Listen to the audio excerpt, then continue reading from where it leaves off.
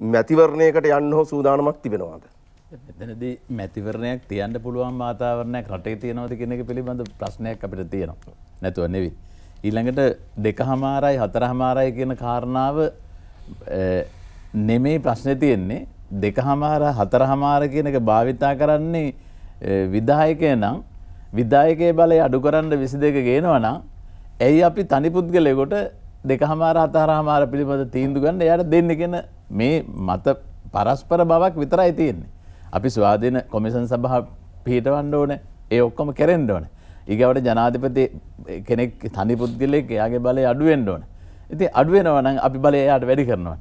දෙසී විසි පහක් ගෙදර යවන බලයක් දෙන්නේ අප එයාට. මංගැනම පරස්පරයි කියෙනක විතරයි කියන්නේ අපිට දෙක හමාරද හතර හමාරද කෙනෙක වැදගත්තන්නේ නෑ.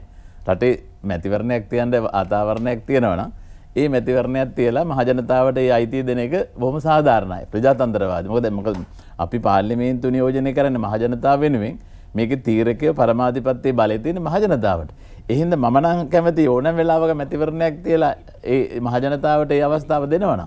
ප්‍රශ්න තියෙන එක නෙමෙයි තනි පුද්ගලයෙකුට දෙක හමාර හතර හමාර තීන්දු කරන්න අවස්ථාවක් දෙනවද කියන එක.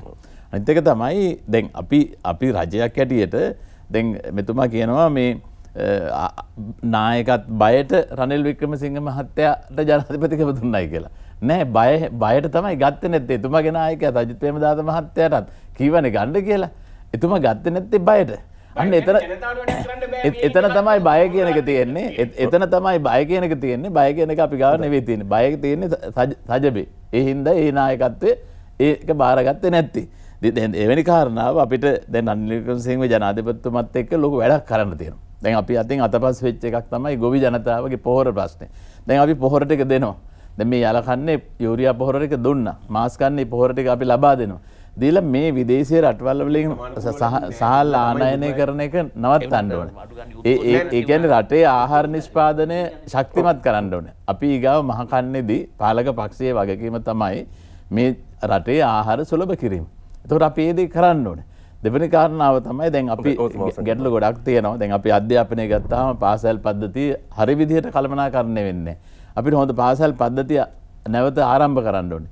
ඊළඟට ඒ තුළ අපිට අවශ්‍ය විනයගරුක සමාජයක් හදන්න. අපි භෞතික සංවර්ධනය ගැනම හැමදාම කතා කරන්නේ. හැබැයි මානව සම්පත්තේ සංවර්ධනය ගැන කතා කරන්නේ නැහැ.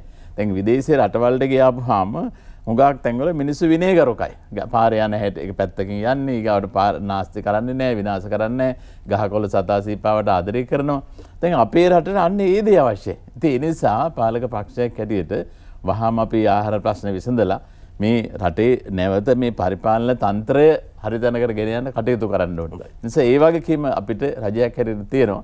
ය විශ්වාස කරනවා රනිල් වික්‍රමසිංහ මැත්තුමාගේ ජනාධපත් අනතුරත් ලබා ගැනීමත් එක්ක පාර්ලිමේන්තුව අපේ දිනෙස්කුණ වලද නගමැත්තුමත් එක්ක පාලක පක්ෂ හැටිට අපි මේ රට ගොඩනගෙන වැඩේට කරන්න ගෙනියන්න පුළුවන්. අපි ආරාධනා කරන අනිත් අයටත් පාර්ලිමේන්තු නියෝජනය කරන අයට පමණක් නෙවේ මේකට සම්බන්ධන තියෙන හැම කෙනෙකුටම අපි රට හොඳ තැනකට ගෙන යන්න මේ ක්‍රියාවලිය මේක තමයි අරගලේ.